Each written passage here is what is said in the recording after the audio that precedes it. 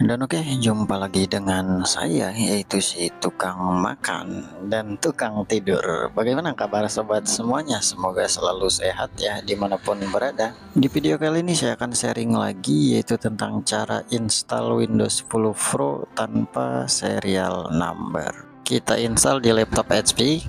Cara ini bisa teman-teman praktekkan di laptop lain juga seperti laptop Asus, Lenovo, Acer ya. Terus laptop atau PC komputer. Nah yang pertama silahkan di charger laptopnya ya. Agar nanti ketika diproses installnya tidak kehabisan baterai. Terus selanjutnya apa yang harus dipersiapkan? Yaitu yang pertama USB flash disk bootable ya jadi jika teman-teman belum punya USB bootable-nya silahkan download dulu atau membuat USB bootable terlebih dahulu. Nah, anggaplah kita sudah punya USB bootable-nya ya, kita colokkan ke laptopnya. Nah, selanjutnya kita akan mengatur booting terlebih dahulu dan kita akan masuk ke settingan boot menu. Namun untuk laptop berbeda-beda ya cara masuk boot menunya maka akan saya tuliskan seperti ini teman-teman. Jadi laptop HP tombol boot menunya menggunakan F9 Lenovo F12 Acer menggunakan F12 atau F2 Asus ESC Toshiba F12 Dell F12 PC komputer menggunakan F12 atau merek-merek lain menggunakan F12 cara mempraktekannya seperti ini. Dalam kondisi mati silakan hidupkan langsung tekan-tekan tombol boot menu ya. Seperti ini ditekan-tekan dengan cepat sampai muncul tampilan boot menu. Nah, terus ya. Nah sampai muncul tampilan boot menu seperti ini teman-teman. Jika sudah muncul seperti ini silahkan pilih boot flash disk merek masing-masing ya. Berhubung di sini saya menggunakan USB verbatim ya. Silahkan pilih USB merek flash disk masing-masing. Ketika sudah dipilih atau diarahkan menggunakan keyboard ya tinggal di enter saja maka si laptopnya akan restart dan booting ke USB flash disk ya. Nih diarahkannya pakai keyboard teman-teman. Tinggal di enter jika ada keterangan press any key seperti ini silahkan ditekan-tekan tombol spasi ya agar bootingnya ke flash disk. Oke setelah ditekan-tekan tombol spasi dia nanti akan masuk ke tampilan install seperti ini. Kita akan perdekat dulu perjelas ya. Nah di posisi ini langsung saja kita klik next dan klik install now nah tunggu beberapa saat ya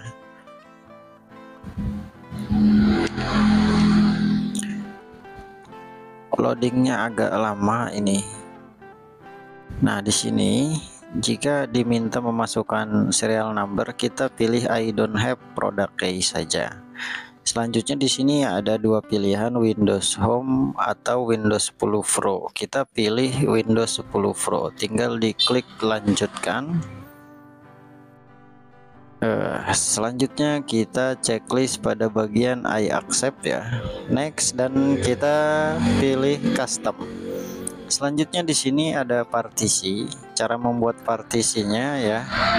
Langsung saja tinggal di new ya untuk membuat partisi langsung klik Fli lalu oke okay, ya selanjutnya untuk melanjutkan install tinggal kita klik next ya. Nah dan di, di bagian ini kita hanya perlu menunggu saja sampai 100% ya. Kita percepat videonya ya. Biasanya ini bisa memakan waktu sampai 30 menitan lah ya. Dari 10 menit sampai 30 menitan ya. Tergantung kecepatan laptop atau komputernya juga kita tunggu sampai 100% di bagian ini boleh teman-teman percepat videonya ya. Di skip-skip saja tidak apa-apa. Nanti ketika sudah 100% dia akan ada keterangan restart ya. Nah tunggu sebentar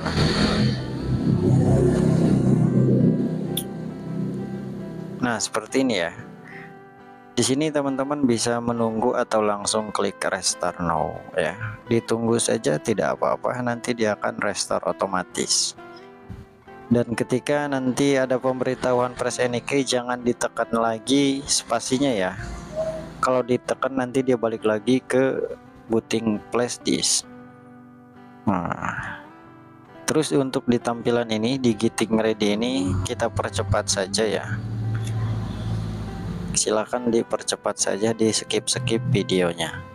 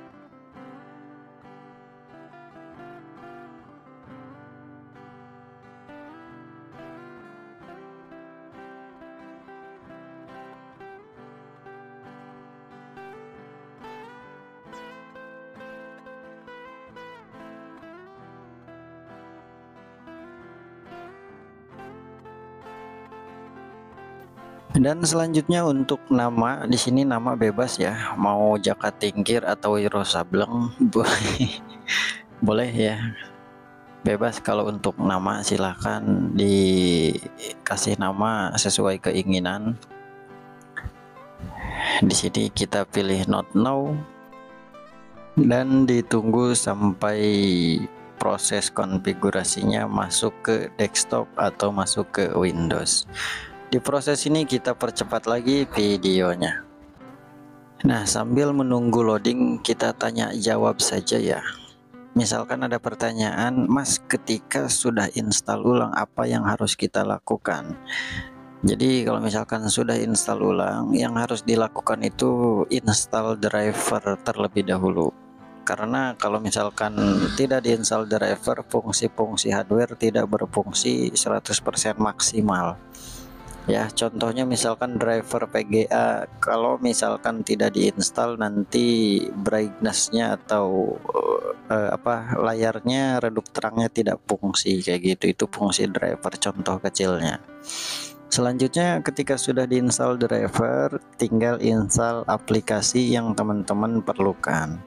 Kayak gitu misalkan ada pertanyaan Mas eh, perlu disetting tidak? Setting awal perlu ya agar tidak lemot agar sistem-sistem restornya hidup gitu. Jadi ketika sistem error kita bisa merestornya ke keadaan sebelum error. Jadi perlu disetting juga.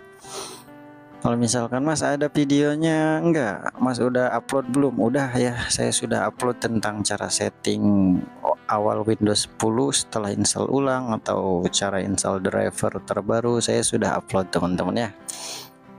Jadi silakan teman-teman cek di channel saya di bagian playlist.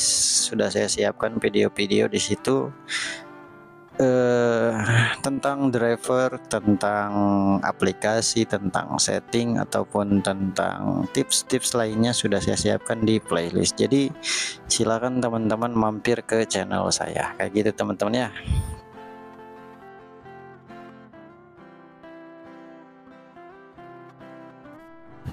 Nah, dan proses installnya sudah selesai teman-teman ya.